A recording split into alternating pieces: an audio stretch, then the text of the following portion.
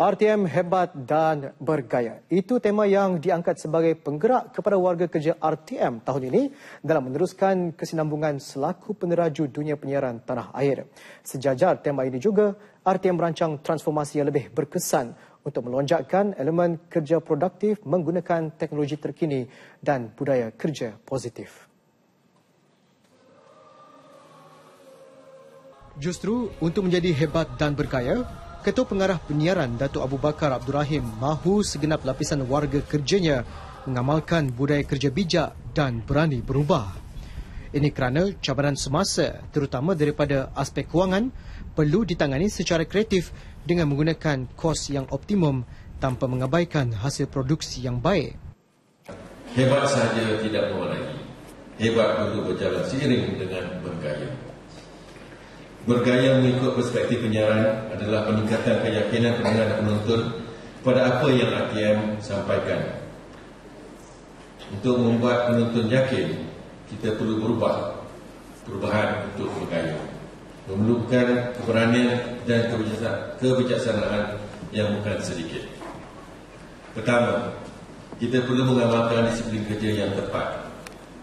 Disiplin kerja bermula dengan pengurusan waktu kerja yang teratur. Tegasnya, transformasi dalaman akan mengambil kira beberapa aspek RTM untuk kekal relevan sebagai penghubung antara kerajaan dan rakyat. Ini termasuk menilai semula strategi semasa, bengkel ke arah perubahan budaya kepimpinan, kualiti program yang disiarkan, perancangan modal insan, penganjuran acara bertaraf dunia dan perancangan strategik. Malah kajian demografi penonton dan pendengar juga akan terus dilaksana untuk dijadikan indikator hala tuju RTM pada masa akan datang. Beliau berucap pada Majlis Perhimpunan bulan Januari Jabatan Penyiaran 2016 di Angkasa Puri. Bagi warga RTM, tema RTM hebat dan bergaya menjadi semangat untuk terus bekerja kuat melonjakkan nama RTM sebagai stesen penyiaran kerajaan. Itu reaksi kaki tangan yang pernah memenangi pelbagai anugerah dan penghargaan sepanjang tahun lalu. Uh, kita akan lebih memantapkan lagi uh, dari segi cara pengurusan kita untuk bekerja dalam RTM. Kalau boleh kita nak lebih cemerlang lagi lah untuk di masa akan datang. Uh, melalui penyertaan kita dalam beberapa pertandingan yang diadakan, uh, ia akan membuktikan bahawa kita boleh dalam apa jua pun penerbitan yang kita buat. Uh, yang penting kreativiti dan menghasilkan sesuatu yang lebih berkualiti.